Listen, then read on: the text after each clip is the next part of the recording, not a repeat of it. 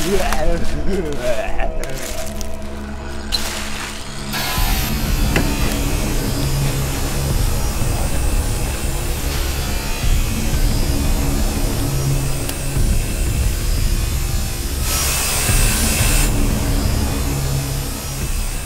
Leute, schön, dass ihr wieder mit dabei seid. Wir sind heute mal in etwas gefährlicherer Mission unterwegs. Und zwar sind wir auf dem Bullihof vom Schlechter.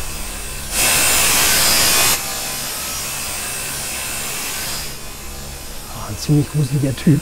Deshalb müssen wir ein bisschen leiser sein. Es geht heute um das Thema Bullikannibalismus und was das genau ist, erfahrt ihr im weiteren Verlauf des Videos.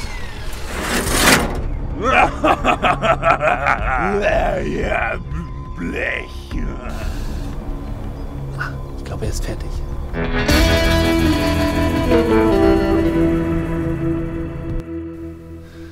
Puh, gut, dass der weg ist. Jetzt können wir zum eigentlichen Thema kommen, nämlich Bullikannibalismus und dem Schlachten von alten VW-Bussen. Ja, auch wir als Van 360 haben es in der Vergangenheit getan, tun dies aber seit vielen Jahren schon nicht mehr. Und das auch aus gutem Grund. Das erfahrt ihr im Laufe des Videos, wie wir dazu stehen und was unsere Philosophie ist. Lasst uns ruhig mal auf den einen oder anderen Schlachter, den wir hier stehen haben, kurz eingehen, um ein Gefühl dafür zu entwickeln, was es einfach auch bedeutet. Wir haben hier einen T3, ähm, der hatte irgendwann mal ein Klappdach oben drauf. Klappdach ist nicht mehr da. Das Klappdach wurde von uns dann auch verwendet in einem Projekt, um einen Bus, der kein Klappdach hat, mit einem Klappdach auszustatten. also ein relativ simpler, einfacher Weg. Ähm, bei dem Bus sieht man relativ gut, dass die Karosserie an sich ähm, noch relativ vollständig ist und wir uns eher an den Teilen bedient haben, ähm, wie Fenster, vorne das ein oder andere technische Teil, vielleicht ist am Unterboden auch noch was abgebaut worden. Ansonsten ist die Karosserie aber relativ komplett. Es ist heutzutage auch teilweise noch so. Es gibt ja verschiedene Schlachter, die im Markt unterwegs sind und nach wie vor dabei sind, alte VW-Busse zu zerlegen, kaputt zu machen und damit eigentlich auch aus dem Markt zu nehmen, ähm, um eine gewisse Ersatzteilversorgung auch herstellen zu können für Produkte, die heutzutage noch nicht wieder neu angefertigt werden. Bei vielen äh, Produkten ist das schon der Fall, bei vielen Teilen, die für Reparaturen verwendet werden bei einigen noch nicht, sodass schon auch noch eine gewisse Daseinsberechtigung da ist, Busse zu schlachten. Wichtig ist aber tatsächlich zu schauen, dass nicht Busse, die eigentlich einen relativ guten Zustand haben, geschlachtet werden, weil mit deren Schlachtung auch jedes Mal eine Basis am Markt verschwindet, die einfach mit viel Tradition, mit viel Historie, mit vielen Erlebnissen dann auch ähm, emotional aufgeladen ist und auch nicht mehr repariert oder restauriert werden kann. Es ist halt so ein sich selbst auffressendes System fast. Ne? Der eine Bulli, der Teile benötigt, bekommt sie von einem anderen Bulli. Der Bulli, der sie spendet, verschwindet aber nach und nach. Und so wird es immer kleiner, immer kleiner. Und das sollten wir uns auch mal vergegenwärtigen, dass es dann irgendwann dazu kommt, dass es keine Basisbusse mehr gibt, die reparierbar sind oder restauriert oder generalüberholt werden können. Und die technischen Möglichkeiten, die sind heute so weit ausgeprägt, dass man selbst Busse, die eine richtig schlechte Substanz haben, wirklich wieder richtig schön aufbauen können. Die Grundlage dafür bildet halt der Bus an sich. Wenn die Teile fehlen, ist es dann umso schwerer. Hinzu kommt auch noch, dass die Ersatzteilversorgung im Markt sich stetig weiterentwickelt. Im T3-Bereich sind wir da super aufgestellt. Wir merken, dass wir im T4-Bereich äh, auch Stück für Stück Leute und Produzenten entstehen, die auch da für eine bessere Teileversorgung sorgen. Punkt. Hier am Bus, der schlechter ist, die Flex hat er liegen lassen, der kommt bestimmt nachher wieder. Das heißt, wir sollten uns vielleicht ein bisschen beeilen. Sehen wir einmal, dass hier eine komplette Seitenwand von uns damals rausgeschnitten wurde. Das ist schon viele, viele Jahre her, dass wir das getan haben. Zum damaligen Zeitpunkt gab es diese Seitenwand nämlich nicht äh, als reproduziertes Teil. Heutzutage setzen wir auf diese reproduzierten Teile weil wir auch wissen, dass der Rost nur in der Tiefe beseitigt werden kann, wenn wirklich ganze Partien ausgetauscht werden. Es reicht nicht zu schleifen oder was auch immer. Und äh, die Seitenwand haben wir aber irgendwann mal genutzt und eingesetzt. Ansonsten, ja, ein Postbus äh, gibt es jetzt nicht so viel zu sagen. Wir haben hier noch wieder ein Exemplar. Da sehen wir, da fehlt das Lenkrad vorne, die Tachoarmatur. Auch hier ist das äh, Dach äh, demontiert worden von uns. Ähm, Soll es jetzt im Detail nicht mehr weiter darum gehen. Ich denke, da haben wir ein Verständnis für entwickeln können, was Bulli-Kannibalismus an sich ist. ähm, es hat aber noch einen weiteren Grund, warum wir als Van 360 der Meinung sind, dass das Schlachten von VW-Bussen nicht so sinnvoll ist. Nämlich die ökologische Komponente, die da ins Spiel kommt. Jeder einzelne Bus, der irgendwann mal produziert wurde, trägt ja eine Energiebilanz schon in sich. Das heißt, als er damals produziert wurde, mussten irgendwann Rohstoffe gefördert werden, für die Energie aufgewendet werden musste. Der Produktionsprozess hat stattgefunden, für den Energie aufgewendet werden muss. Wenn ich jetzt einen Bus schlachte und so weit schlachte, dass dieser irgendwann in der Presse landet, beim Schrottplatz, bei wem auch immer, dann geht diese Energie pff, einmal komplett verloren. Das ist unserer Meinung nach nicht ökologisch und nicht sinnvoll. Ökologischer ist, die Energie, die schon investiert wurde, zu erhalten und den Bus halt an den Stellen, an denen es notwendig ist, sowohl im technischen als auch im Karosseriebereich, reparieren oder zu restaurieren. Das heißt, auch dafür ist Energie notwendig. Die Energie, die aber dafür aufgewendet werden muss, ist deutlich geringer als die Energie, die aufgewendet werden muss, um ein neues Produkt, ein neues Fahrzeug, einen VW-Bus, was auch immer, ähm, wieder herstellen zu können. Wir haben jetzt ja auch gelernt, auch in der schwierigen Zeit, in der wir leben, Lieferketten sind ein bisschen fragil. Je größer die Krise, desto anfälliger die Lieferkette. Und Handwerk ist ein schöner Beruf, der regional umsetzbar ist und die regionale Wirtschaft auch entsprechend fördern kann. Wir haben eine Frage an die Zuschauerschaft. Das wäre schön, wenn, wenn ihr die Frage mal so ein bisschen auf euch wirken lasst und eure Meinung dazu in die Kommentare schreibt. Wenn wir die Situation hätten, dass ein generalüberholter T3 California quasi in einen neuwertigen Zustand versetzt wurde, erhältlich ist zu dem gleichen Preis wie ein T6 California, der gerade frisch vom Band gelaufen ist mit ähnlichen Garantiebedingungen, mit ähnlichen Servicemöglichkeiten, der Gewissheit, dass er reparierbar ist und Werkstätten sich darauf konzentrieren. Für welches Fahrzeug würdet ihr euch entscheiden? Für den etablierten T3 California, von dem ihr wisst, der hält 36 Jahre, definitiv, muss natürlich gepflegt und repariert werden. Oder von dem Neufahrzeug, das neu produziert wurde, klar, ist ein Neufahrzeug, das von euch schon nicht mehr repariert werden kann und von dem man nicht so richtig weiß, wie lange es hält. Schreibt das mal bitte in die Kommentare. Das ist für uns eine wirklich wichtige Frage, mit der ihr uns helft, wenn ihr uns da ein Stück weit einfach an eurer Meinung mal teilhaben lasst. Um mal so ein bisschen zu verdeutlichen, wie der ein oder andere Kunde auch mit seinem VW-Bus umgeht, bei dem der ein oder andere vielleicht auch denken würde, oh, der ist nicht mehr haltungswürdig, ist vielleicht ein Schlachter, dafür kann man ihn noch nutzen, weit gefehlt. Äh, das zeigen wir euch nämlich jetzt mal anhand von vier Projekten, die wir aktuell umsetzen und wirklich spannend sind, das mal zu erfahren. Kommt mal mit.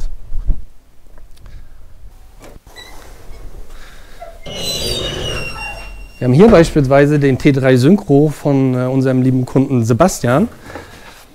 Wir haben hier eine Kopie des DEKRA Prüfprotokolls und äh, einfach nur, wenn man sich den Bus ein Stück weit anschaut, dann stellt man fest, dass der Zustand gerade so im Karosseriebereich eher so, ja, gelinde gesagt, semi-gut ist.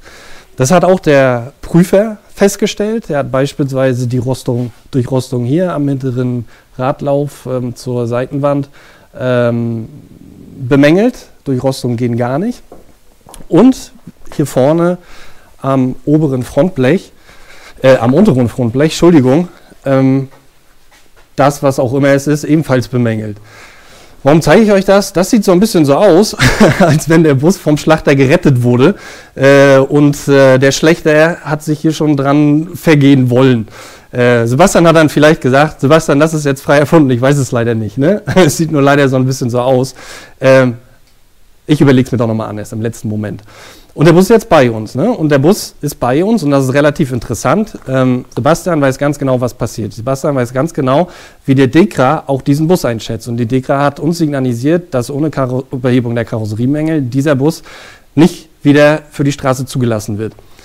Was macht Sebastian? Sebastian ist in seiner Überzeugung äh, so aufgestellt, dass er ganz klar sagt, ähm, ich möchte meinen Bus erhalten. Die Karosserie, das ist der größte Arbeitsbereich von allen die packe ich auf die lange Schiene. Dazu finde ich eine Lösung in der Zukunft. Heute habe ich sie nicht. Repariert bitte erstmal die Technik. Das machen wir gerade. Hinzu kam noch, und das ist auch relativ interessant, ähm, das ist ein Stück weit Teilhabe an der Gedankenwelt unseres Kunden. Was äh, würde es kosten, wenn ihr mit Zusatzinstrumente einbaut und eine Standheizung? Da haben wir dann erstmal gesagt, äh, stopp, lass uns erstmal die technischen Reparaturen umsetzen und äh, da einen Stand reinbringen und dann über irgendwelche Gimmicks äh, uns unterhalten, die dann eher Komfortcharakter haben. Das macht dann aus unserer Sicht auch noch nicht so viel Sinn. Ne? Das ist dann tatsächlich etwas, was wirklich in Summe dann mit der Karosserie auch äh, abgestimmt werden muss. Ähm, und das ist ein guter Zeitpunkt. Ob wir die Karosseriearbeiten umsetzen, wissen wir nicht. Keine Ahnung. Wir bieten ja an, immer auch Teilbereiche, äh, gehen wir gleich auch nochmal darauf ein, äh, umsetzen zu können. Genauso kann man es ja auch tun.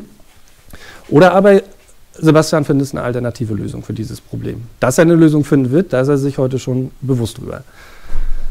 Lass mal weitergehen zu dem Bus von Ronny. Ist auch ein T3, den hat der eine oder andere vielleicht auch in unseren Videos äh, 40 äh, Bullis auf dem Bullihof äh, schon einmal gesehen. Da hatte ich schon kurz was zu gesagt.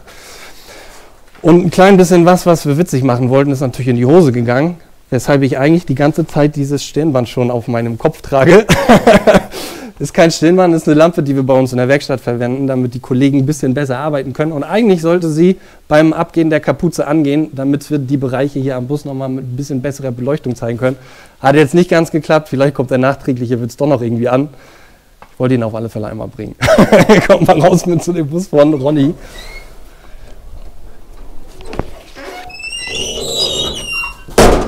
Ich würde jetzt auch mal meine John Rambo Gedächtnislampe abnehmen. Äh, die schnürt mir doch meinen Kopf ein bisschen ab. Äh, und ist auch relativ warm am Gummi. Ähm, Kollegen kommen aber gut mit klar. Das ist der Bus von Ronny. Wenn wir uns den mal anschauen, dann sehen wir auch hier einen relativ interessanten Bus, der rostig ist, rostig ist, rostig ist am Scheibenrahmen, klassische Stelle.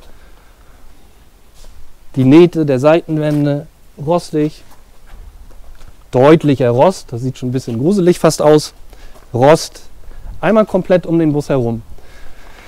Wenn wir hier mal so ein Stück weit bei dem Bus am besten aus diesem Blickwinkel vielleicht einmal filmen könnten, dann sehen wir, dass das relativ krumm und blöd aussieht.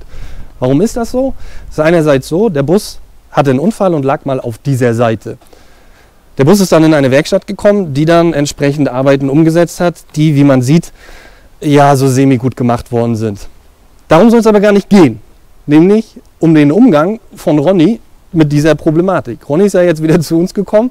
Im letzten Video hatte ich schon gesagt, er hat einen general überholten Motor reinbekommen, investiert auch in die Technik und nutzt den Bus regelmäßig immer für seine Urlaube, Ausfahrten, was auch immer. Und Ronny hat den Bus dieses Mal wieder gebracht. Wir haben natürlich über diese Situation mit ihm gesprochen, weil er gesagt hatte, es wäre schön, wenn wir im Bereich der Karosserie ein paar Schönheitsarbeiten machen könnten. das kriegen wir natürlich nicht hin. Ne? Also das ist äh, ein ganz besonderer Patient. Ronny macht nämlich aber immer eins, weil er sich natürlich bewusst darüber ist, dass das nicht sonderlich schön anzusehen ist, wenn er auf dem Campingplatz steht oder irgendwo Urlaub macht. Der macht einfach seine Schiebetür auf, stellt sich seinen Campinghocker davor und sagt, so sehe ich es nicht mehr. fanden wir eine schöne Betrachtungsweise von Ronny und einen sehr pragmatischen Ansatz, der auch dem Bus zugutekommt ne? und äh, in keinster Weise den Urlaub dann schmälert. Ne? Ähm, ist auch schön, wie man Dinge betrachten kann. Das ist eine, die Betrachtung von äh, eine positive Betrachtungsweise von etwas. Wenn wir mal in den Bus reinschauen, dann sieht man hier einen Zustand der Innenausstattung und äh, eine liebevolle Einrichtung von Ronny, äh, mit einer Zeitschrift, die er äh, scheinbar dann auch liest. Ähm, und man riecht Ronny förmlich. Ne? Also ähm, ich bin mit dem Bus beispielsweise, als wir den general überholten Motor eingebaut haben, fahren wir ja mal 1000 Kilometer, dann auch gefahren. Ich bin eingestiegen und habe mich direkt mit Ronny verbunden gefühlt. Ne? Hier steckt Ronny so tief drin in dem Bus. Der wird sich auch nie trennen von dem Bus. Der kommt immer wieder her und sagt, na, zwei Jahre noch, zwei Jahre noch und dann geht er weg. Ronny, sieh es ein, du wirst diesen Bus niemals weggeben. Definitiv wirst du das niemals tun. Wir können gerne versuchen, den Weg zwei Jahre immer weiterzugehen, aber irgendwann müssen wir der Sache auch wirklich mal ins Auge gucken und eine gute Lösung finden. Die dann auch dir zugute kommt, weil du ihn dann lange nutzen kannst und dir der Bus vielleicht auch dann gefällt, wenn die Schiebetür zu ist. Noch ein weiterer Ansatz. Das ist der T3 von Uwe. Auch ein relativ interessanter Bus. Ich habe jetzt hier die Tür schon aufgemacht, ich mache sie nochmal zu. Wir sehen auch hier wieder Rost, Rost, Rost, der rausläuft, eine rostige Stoßstange, Rost an der Heckklappe, Rost, der rausläuft, rostige Nähte. Ähnliches Bild wie bei Ronny. Andere Herangehensweise. Uwe hat sich dazu entschieden, seinen Bus restaurieren zu lassen. Nicht im kompletten. Der Bus war nämlich schon mal da. Vielleicht haben wir über den Bus in einem unserer Videos auch schon mal gesprochen. Worüber wir auf alle Fälle in unseren Videos schon gesprochen haben, ist die Restaurierung des Dachrahmens, die wir bei diesem Bus nämlich schon umgesetzt haben. Und wenn wir jetzt hier einmal reinschauen in den Bus, dann sehen wir auch, dass die komplette Innenausstattung, also fast komplett, ne? Äh, ein paar Restarbeiten sind für uns noch übrig, von unserem Kunden Uwe schon erledigt wurde, bis auf die Innenausstattung im oberen Bereich. Da kann man relativ gut erkennen den guten Zustand der Innenausstattung an sich, plus ähm, das neue Leder auf den Platten, äh, was wir bezogen haben, ähm, kann natürlich drin bleiben, weil der Bereich ist ja abgeschlossen und erledigt.